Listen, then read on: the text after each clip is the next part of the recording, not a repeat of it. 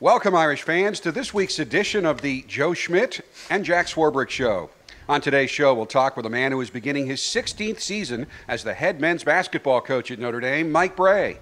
Coach Brey's Irish are coming off the best Notre Dame basketball season in more than 35 years, so there is a lot to talk about with Mike. But first, to start things off, here are your hosts Notre Dame captain and starting linebacker Joe Schmidt, and Notre Dame vice president and director of athletics Jack Swarbrick. Captain Schmidt, good to be with you, man. Mr. Swarbrick, what's going on? Seven and one. It's a good. It's a good place to be at uh, at the eight game mark. It is. It's you know it's still the eight game mark. I think uh, that's something that we need to make sure we remember. Uh, but it's it's exactly where we want to be uh, right now, looking into the last you know four games here of the season. Uh, you know, with a big game coming up this week at this weekend at Pittsburgh, and and we're looking forward to it. We're excited. Another game you had in the bag the entire way. Yeah, yeah, right. Seriously, no, no absolutely drama. no drama. There's there's been no questions that Showtime scripting our games, but I want to I want to thank you for holding the TV audience. The ratings are great.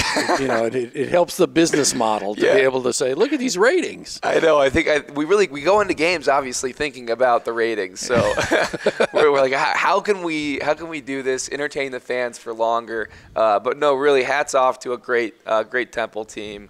Um, they were extraordinarily well coached, and they really cared about about that game. And and I know that me saying they really cared sounds like um, you know, people would ask me, is that is that a, is that a difference? Um, but you'd be surprised as the you know, you know as to you know week in week out you play people and, and you can actually tell that there's a quantifiable difference between you know the amount that people are carrying. And I think it's uh you know it, it starts with like you know their their offensive linemen they knew all of our uh, defensive players' first names and they were addressing us by first names throughout the whole game.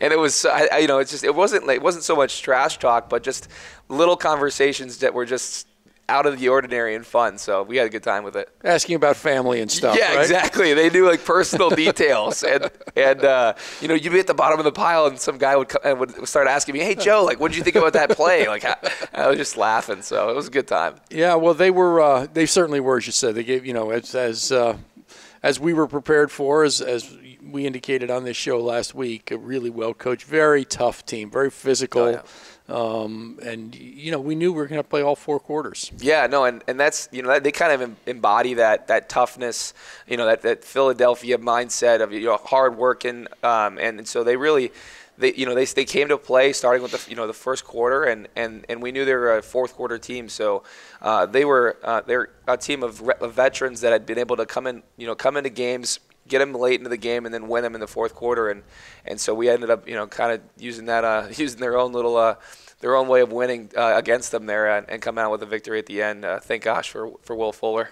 Well, you know, the, I was going to say the script had some pretty similar elements for us, right? We're getting a little used to these, which is, uh, uh, you know, a, a big late drive culminating with pretty remarkable throw to Will. Will made yeah. a great catch, but uh, Deshaun dropped that right in the pipe there.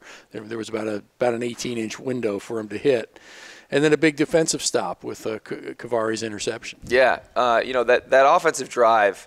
Um, you know, everybody points to that last play, Will making you know uh, you know a great strike you know uh, strike down the sideline from Deshaun. Um, but really, I look at there was a there was a third down early in that drive that Will, you know, it was a scramble, and Will just happened to find a way to get open. And great players do stuff like that. And you know, Deshaun kept the play alive with his legs, found Will along the sideline for what was what seemed like at the time maybe you know just a, a seven yard gain on the way to you know scoring a touchdown. But without that, it's fourth down, and and we're probably punting the ball. Um, so it's it was you know it was a huge play, and, that's the one that I point to just to, to kind of show like you know this is that's Will Fuller him him being great. Uh, but defensively, it was great as well. You know, another key play on that drive is something we've been seeing in practice, which is the emergence of Alizé. Oh yeah, uh, on the offensive end, and, and that was a huge play in that drive. I know he he, he ran a corner route, and I feel like they just didn't cover him. I, I don't know what if it was a if it was something our coaches had identified in scheme. Um, but I remember looking up on the because I, I couldn't quite see Alizé's route, uh, you know, over the uh, the our sideline. Obviously, I'm not the, the tallest guy in stature, um, so I'm looking at the uh, the wonderful video board that we're about to have here at Notre Dame, and uh, and Alizé's streaking, you know, through the middle of the field un, unmarked. So it was it was a great play for Alizé. I just I felt good, you know, that you know he's he's wanted to do something to help contribute to the team, and, and that was a huge play for us. So. Yeah, no, it it, it absolutely was, and uh, The other play that uh, you know I think sort of stuck out for me in the game was um, a reminder. We know it, but but but it's sort of a reminder, and maybe a first introduction for the rest of the country that that big quarterback can run. Yeah. when, when those DBs were trying to were trying to catch Deshaun on that uh, on that on that play, they weren't gaining any distance. No, I, I actually think the big guy pulled away. He Yeah. was he was rumbling, stumbling, bumbling. That was that was oh my gosh. I mean, I, I went up to Deshaun after and I was like, "What's your 40 time?" Because I, I swear I thought Deshaun ran like a five nine. You know, he he looks he looks like he wouldn't be the fastest guy, uh, but when he actually gets into the open field, he can really move. And um, he pulled away from a safety and a cornerback uh, that are playing Division One football, and uh, and then of course hit him with the with the fly goes fly, which we had to give him a lot of grief for, and uh, hopefully he never does again. Um, but you know, I think after getting a 79-yard run, we can we can forgive him for one um, one little mistake there at the end. Yeah, and I'm I'm I'm uh, I'm glad the sort of origin of that uh, that uh, little gesture got explained. His, Oh, his, yeah, his yeah. long time uh, passion for the Philadelphia Eagles, The not, fu- not the Temple Owls. Yeah, no, we actually, so we all knew it because uh, when we, we got to uh, the Linc uh, the day before for our little check out the, the stadium, see where you're getting taped. Um, we do that on Friday nights. Um, Deshaun, you weren't, we weren't supposed to go onto the grass. There was a guy there that was. It, this was his grass, and if you went on his grass, we were getting in trouble. Um, and Deshaun had a brand new Eagles hat that he must have just gotten so, from you know on the, for the trip. Um, and Deshaun, you know, waits till the guy turns around, runs out onto the onto like the into the end zone, puts his hat on, and, and has like a little eagle pose, and, and takes the picture and runs back. So needless to say, we got a little trouble with the grass guy, uh, but Deshaun is a huge Eagles fan. Well, I must say I feel a little bad because the, the QBs came up to me in practice about a week ago, and and Deshaun said, uh, "So, which of us do you think is the fastest?"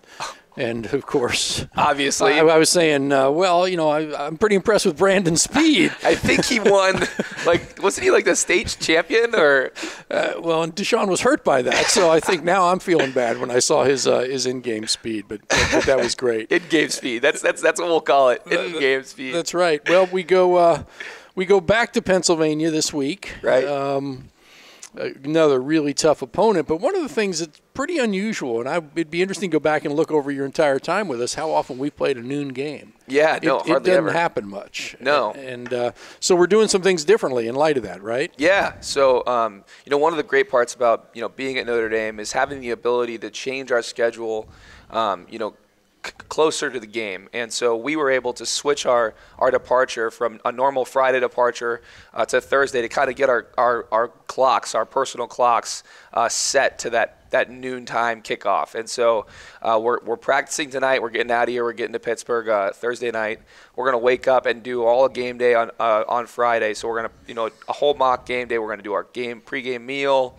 Um, all the kind of meetings we do normally before a game, um, and then it's kickoff practice at 12 o'clock. Um, and normally our Friday, it's going to be a little bit of a different Friday practice, and I think that's great. You know, Coach Kelly's so good about understanding how best to, to you know fine tune the team and, and to make sure that we're at our best when we really need to be at 12. So, um, and, and really, I don't, I, I think the last time we played a noon kick was the last time we were at Pitt, um, at you know in 20 in 2011, and I, I was actually there, and we we did start slow, um, and that was a slugfest until the very end. So I think coach is just trying to make sure we don't start slow, and and he does everything he possibly can to help us get on get on our way there. Yeah, um, you know, I think our listeners and viewers understand this, but the, the reason for that dynamic is uh, television loves to move us to the evening games Right. for a larger audience. And so we generally on road games don't know until 12 days out.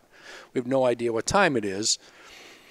We got the whole schedule planned. We were planning for at least 3:30, maybe maybe we can start. We get noon. So our earlier guest from earlier in the year, Chad Klunder, has a few things to do. He's Yeah. got to he's got to see if he can change the charter plane. He's got to see if the hotel can take us a day earlier. I was watching this mad scramble he was going through to try and see if he could make all the logistics work on less than a week's notice at the end of the day, and uh, he's been able to make it happen. Yeah, no, we really do have a great team over there, and I think you know I don't think Chad's alone. I, I know Chad's working with a, with a bunch of great people, yourself included. Um, and really, you know, the, the best part about this though is that it creates extra work for Chad, and, and we absolutely love that over at, at the Gug. We if there's any extra work we can create for Mr. Klunder, it's a it's a win for us. Well, we did it this week, that's for sure. yeah, we did. Now, now, back to the same state, and in some ways back to a similar challenge. A very physical football team. Um, great defense. They're going to try and keep the ball away from you. Yeah. Possession game. You know, they want it.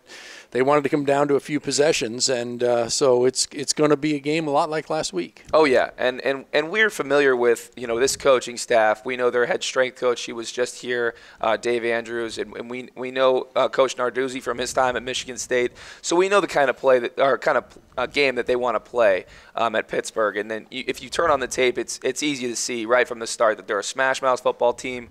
Uh, they love running the football. They've you know they've got a lot of good uh, playmakers on the outside. They got one of the best receivers in the nation, um, and and really they, they do a great job um, on both sides of the ball. You know, play, you know just executing a clean football game.